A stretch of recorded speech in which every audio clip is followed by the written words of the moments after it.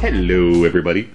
Um, still no new painting videos at the moment. Um, I'm still trying to clear my desk of some commission work and trying to get some other projects just done so I can kind of clear off my desk and clear them out of my head.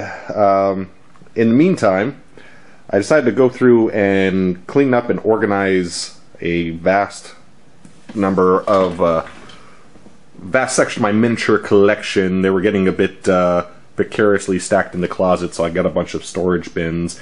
And I thought I would just do a quick video here going through some of uh, the stuff I have, and some of this you may see one day, and a lot of it you probably won't. But uh, let's take a look. I don't have a huge collection of old miniatures. I do have some items that I've uh, had for decades, I have to admit. Um, but there are some interesting pieces in here that uh, a lot of you young whippersnappers probably have never seen. Uh, back when uh, FASA and Ral Partha went under, I collected a bunch of the Ral Partha stuff because I knew it was going to go out of print. So I got a couple of their dragons, Durin's Doom here. A lot of stuff I haven't worked on at all. But this is some old school. Looks like I did something to this. You know what? I think I bought this used actually. There's some green stuff in there. But uh, this is some huge, heavy, heavy kits. Just take a quick look because we got a lot to go over. I got a lot to show you in this video. This is something I don't know when I'll get to. It's definitely not on the priority list. But I got this heavy sucker. The Conflict, which is, I think this is one of the first kits that had uh, plastic or resin pieces in it. And this is a kit that I've kind of played around with on and off for the past couple years. I glued some pieces together, and it's uh, it's from some artwork. So it's two dragons fighting. Uh, kind of a complicated build, I remember. And you know you have to attach these two dragons together before you paint them up. But it has these, uh, yeah, the wings are done in resin and they're really bad.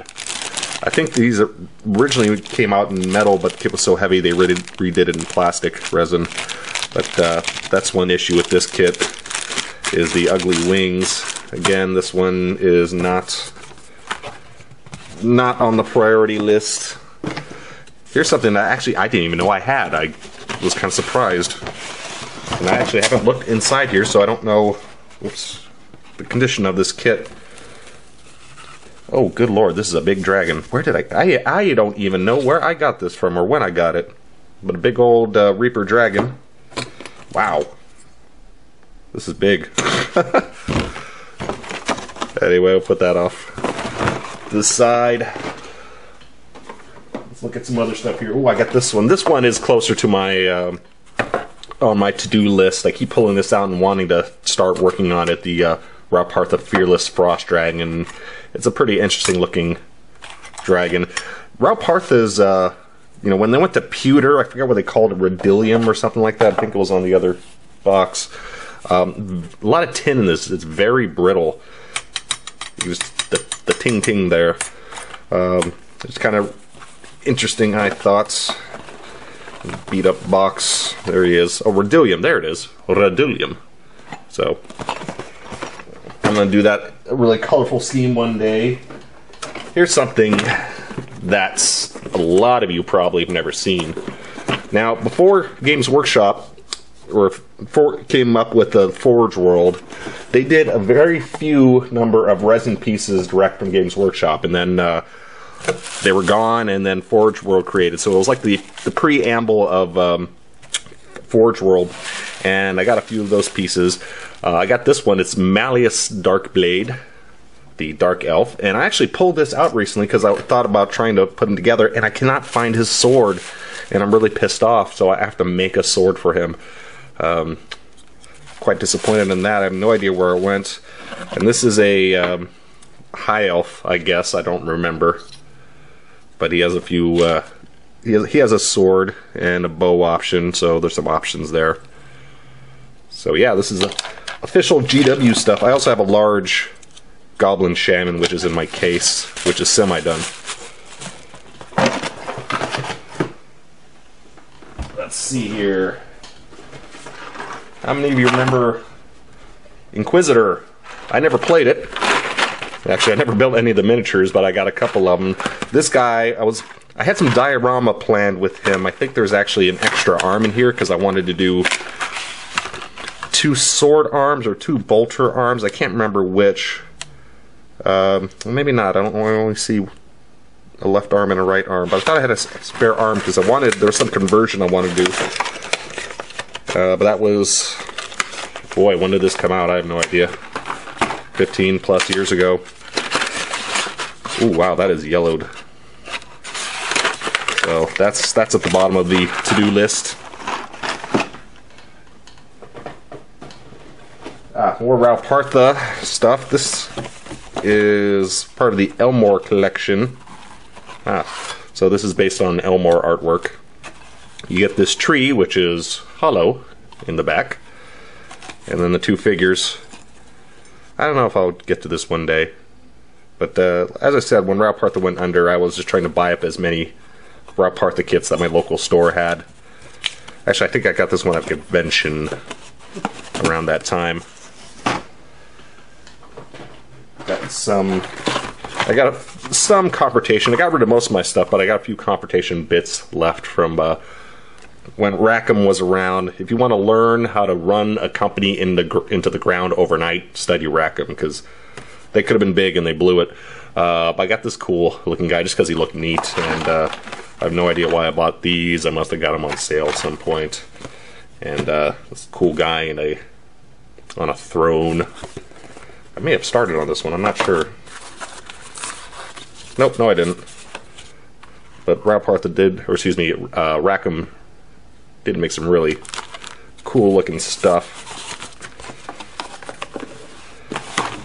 That's at the bottom of the list. Um, ah, limited edition. Actually, I don't think it's limited edition, but it's direct only large uh, Sorscha for War Machine, just a display model. This one I actually got primed. And this is uh, one that's close to the top of the list of getting done one day. Didn't get the big jack. I should have got the big jack too when I could. Uh, here's something cool. Dragon, for a limited time, made some extremely small 144 scale uh, tank kits. And uh, this one of these I actually started building recently. It's off to the side right now. But uh, 144, 15 millimeter, like Flames of War, that's 1 100 scale. This is 144, so it's even smaller than that. Actually, I got a 15 millimeter tank here. This is a Panzer III, and this is a Tiger. This is a small tank. This is a much larger tank. This is like a heavy and a medium or light, I forget, but you can see the size difference.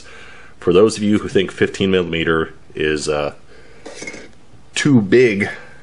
You got 144. These are long out of production, but they're pretty cool. They were only like $5 or something. I don't know there's a price on any of these, but you get two tanks in each pack. You get photo etch decals, you get rubber tracks. These are pretty neat. Uh, you can still find a lot of these on eBay. Uh, running out of room to put stuff on the side already. Dark Sword miniatures. Haven't even opened this one. Or Dark Sword. At least this one's opened. Uh, oh, Thunderbolt Miniatures. Swan Ship. Tom Meier is the king of sculpting. Uh, he actually does some of the Dark Sword miniatures as well, but the guy is a god of sculpting and I love all of his work because it's so amazing. Just the work on the chainmail that he does, but he just does beautiful figures, and he's been doing it for you know ah, 20 plus years, more than that, I think. But just the detail that he puts into miniatures back then was phenomenal, and still it's incredibly amazing.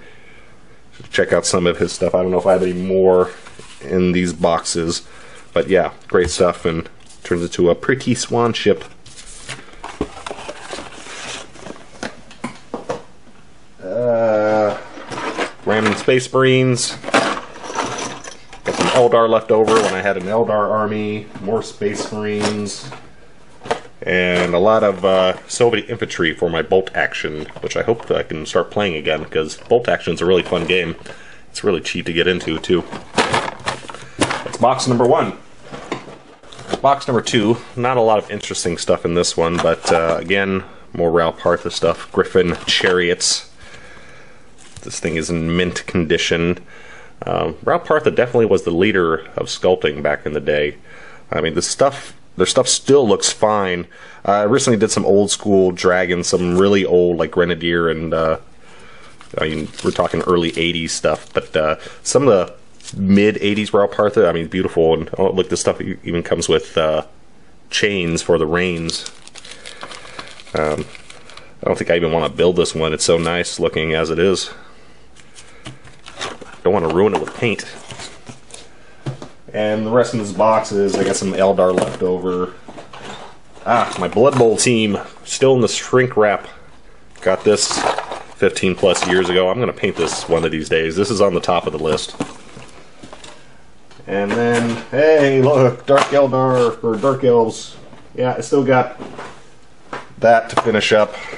Um, I got a one of these boxes I'm not even opening because it's just full of Dark Eldar. And um, I'll get to this one day. I have no idea when, but I will start building a Dark Eldar army that got pushed off. But uh, there's more Dark Elves I still have to finish for the Dark Elf project. Got some uh, Wargames Factory miniatures, which um, I think I did a video on these, didn't I? I, I believe I did. Uh, dirt cheap miniatures are like a buck a piece, like 19 or $20, and you get 32 miniatures in here. They're really crappy miniatures, and you got to do a lot of work to make them look semi decent. But uh, can't beat the price. And got some more. And we got some Warlord games. Let's take a look at this. I just picked this up recently. Oh, this is sealed. Those of you attending my painting classes, if you're local, will be painting up these guys. Because I picked these up on the cheap, and also they're really good quality. And you got some nice chainmail and some nice uh, bare-chested guys, so a variety of things to paint. And uh, yeah, they're pretty pretty good compared to the Wargames Factory. They're a hell of a lot better, and they're only slightly slightly more expensive well, a bit more expensive, $40 for 30. So twice as much, essentially, but uh, I think they're worth it. Alright, box number three. One of these boxes is just filled with a ton of Dark Eldar that I'll get to eventually. Again, I don't know when. Um, I'm just really not looking forward to painting a whole new army. Um, since I already going through painting uh, 15 millimeter infantry and uh, for U.S. Flames of War and the Dark Elves. The idea of painting a whole bunch of uh, you know 100 plus more miniatures for a whole new army is not does not the idea does not make me happy. And then I got oh lord that's heavy. I got lots of boxes like this where that are just filled with tons of random items. Um, a whole bag of Bretonnians, giant bag of Space Marines, which Games Workshop sent to me for our uh, local painting classes. So thank you, Games Workshop, for that. What do we have here? This is uh, oh, painting class stuff. Does anyone need some uh, Bretonnian archers? Got a few hundred. Uh, skinks, a lot of this stuff is actually um, one of the White Dwarfs years and years ago when one of the new fantasy editions was coming out. Uh, they um, were giving these away in the magazine. You got like one of each or something, and uh, they sent a lot to the local stores, and so that's where I got this collection.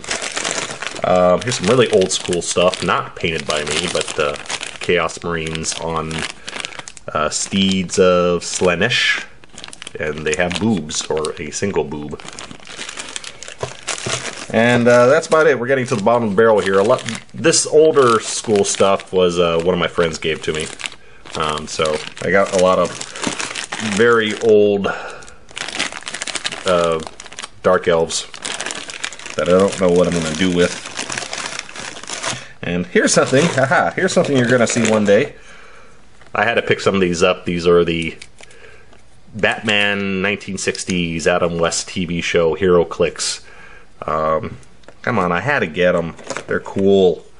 And I'm gonna actually do a video on repainting these to see what, because I'm curious myself, what level of detail you can take these crappy pre-painted made in China things. What level of detail can you take them to?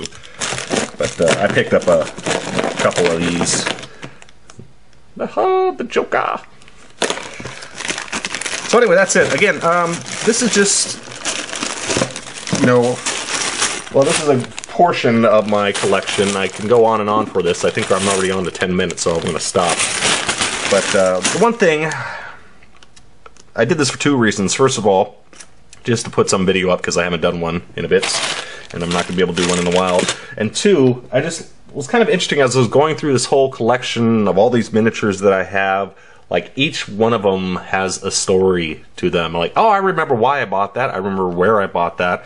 Um, it's a little bit of nostalgia, which frankly I was enjoying when I went through organizing all this, and I just thought that was kind of cool. And um, you know what? You probably have your own stories about miniatures, where you picked them up or where you saw your first one. I bought that at my first convention and still in the box, or I remember this out of production miniature. It was my favorite fighter in my role-playing campaign, something like that. So, anyway, I did that mainly for me. A few of you might be interested in those stories. A lot of you probably aren't, but there you go. Oh, you know what? I forgot one. All right, we'll close with this. Oh, here's something. I did some freelance work. yeah, it's heavy. I did some freelance work for um, Parth uh, back when FASA was still around for Vor and Crucible games, Crucible, and good lord, this is this was a never released Growler. Um, I think there's a name on him somewhere. There it is, Razor Fang 2000. I did this. Um, and so they were sending me stuff, and uh, this guy, I don't believe, ever actually got into retail sales until uh, Ral Partha kind of reformed or whatever the process was with them. But uh, you can buy this in the direct from them now, but I don't believe it ever saw retail release. But this is a big effing hunk of metal, a giant growler. I mean, the size of those claws. Uh, imagine making something like this nowadays in solid metal. Um, this this is a couple pounds. I mean, this in resin, you know, this is this would probably be a hundred plus bucks. I think I don't remember what the price was back then, considering I didn't pay for it anyway. But uh, yeah, so I got a few unreleased limited edition items here and there. This is one of them. But uh, we'll leave off on that, and um, hope you enjoyed it. Little nostalgia for you, and uh, my closet's organized. Yay.